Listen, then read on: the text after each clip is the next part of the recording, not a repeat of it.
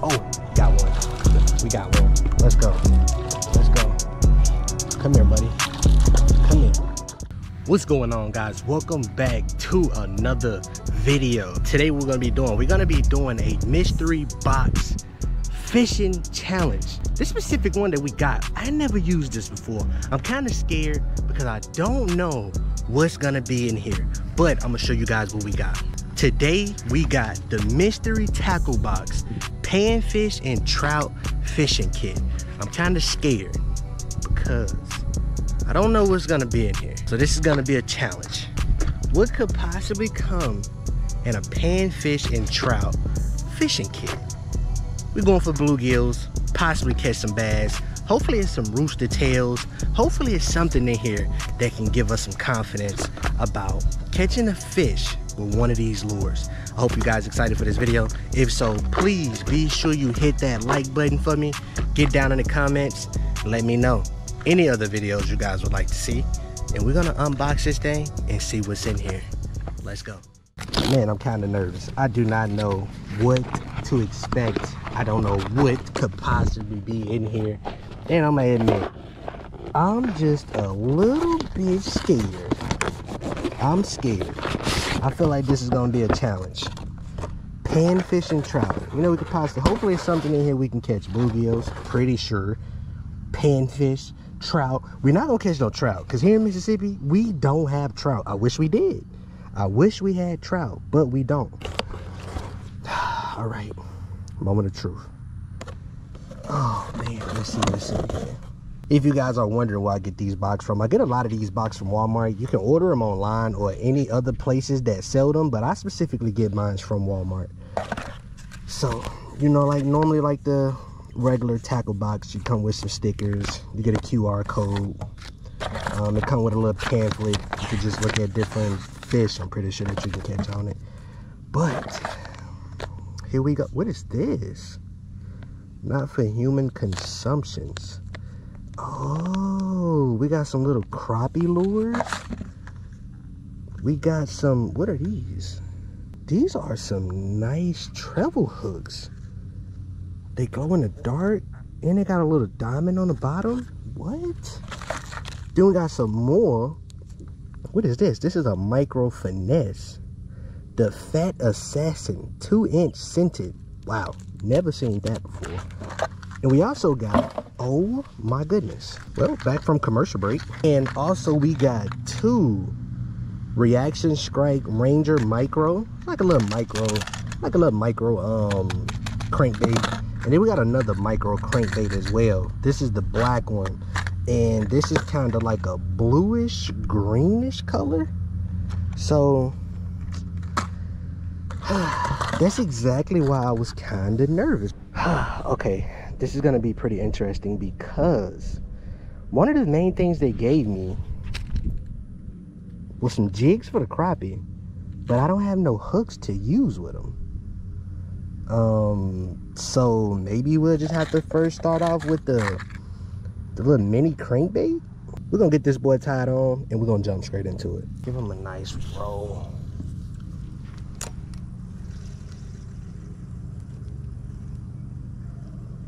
Oh, we just got a little bite just now. Okay.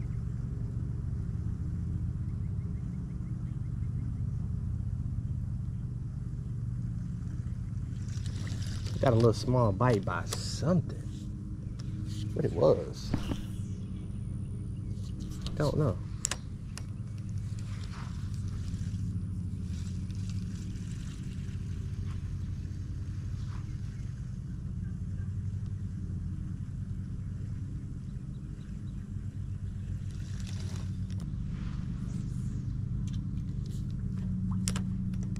Oh, we got one. We got a bass. Oh my goodness. Did you see the jump? Oh my goodness, look at him. Look at him go. Come here, little guy. You're the first one of the day. Let's go. One thing about treble hooks that I don't like. Man, when these fish starts to go crazy with these treble hooks, you definitely got to be careful with the treble hooks, guys. You do not want one of these guys to the finger. Trust me. There we go. nice bass of the day, man. That's the first. He's nice and golden. Are you over there tanning? Nice little fat guy too. Got a nice backbone to him. It looks pretty good. He's super long. But we had him out the water long enough, guys. We're gonna get him back in the water. Let's go, guys. Let's go. Super, super clear right here. There's a bass right there. But he made a run for it. Let's see if I can possibly get him. Try to put it in his path. Right there. Oh, he's interested. Oh, yeah. Come on.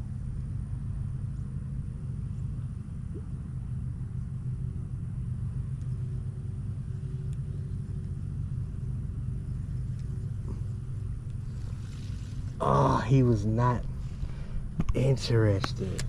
Come on now. Don't play hard to get. Don't try to play hard to get. Oh, got one.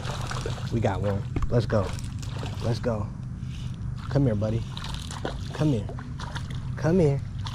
Come here. Oh, let's go. Don't play hard to get for me now. There we go. Guys, my camera cut off like three times trying to get this guy off the hook. the behind the scenes for this specific video, I'm fighting. I promise you, I'm fighting so hard. I'm going through so many obstacles. The GoPro keeps overheating. Um, it just keeps turning off. But, guys, we managed to get a second one. Nice little small bass. Man, these little small guys are eating very, very good. So, we're gonna get him back in there. We had him out long enough. There you go, my guy. Second bass of the day. Let's go, guys. Let's go. Man, my GoPro really does keep overheating super bad and it's not even, the sun is not even out. It's not even hot. It actually feels good. It's a good breeze. I promise you, man, I think that's something GoPro should um should look into because man, these GoPros overheat so fast makes it super difficult when you're coming out here and you're just trying to get just trying to get some fishing in and you know and i'm talking and next thing you know it just cuts off out of nowhere. Man i promise you that's something that they should probably look into. It just overheats a lot. But that's always been a thing with um gopros though so. Can't say it's something that just started happening because i got the gopro 6 and the go i think i got the gopro 7 and the gopro 8 they both do the same thing so. Maybe i have to look into some different types of batteries or turn one of my settings down so that way it won't overheat as much but kind of gets a little frustrating let's go back to our corner over here when you're doing these mystery tackle box you never know what's gonna come inside of them so when i do these it's it's such a challenging task because I didn't bring any other thing that I could possibly use. I only wanted to just only use what came in the box. So I didn't bring any extra hooks or any extra weights or any of my lures that I could possibly use. I only want to just use everything that came in the box. So that also be the challenging part. And some of the things we got, we can't even use them because I don't have any extra hooks or anything. So just gonna keep throwing this little crank bait around.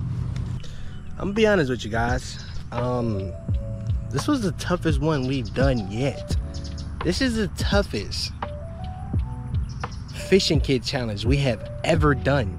The only thing that we was really able to use was the small crankbait. We got about three bass off the crankbait, one spit, so we would have had four if he didn't spit it out. So, with that being said, it was super tough, guys. Like it took me so many times. The GoPro just kept overheating every two, three minutes. This video was the toughest video I've ever done. The toughest video I've ever done. The GoPro just kept overheating. Everything that came in our fishing kit, we couldn't use. The only thing we was able to use was the small crankbait. So I really hope you guys enjoyed this video hopefully you can't see the frustration on my face because we hide behind these shades but i just want to say appreciate all you guys. Thank you guys for all the love and support. Be sure to hit that like button. Get down in the comments. Let me know what other type of videos you guys would like to see. We definitely got more videos coming. Catching cooks. A lot of different style of videos. So hope you guys stay tuned. Don't forget to hit that like button, get in the comments, and also don't forget to subscribe. And I'll catch you guys in the next one. Let's go.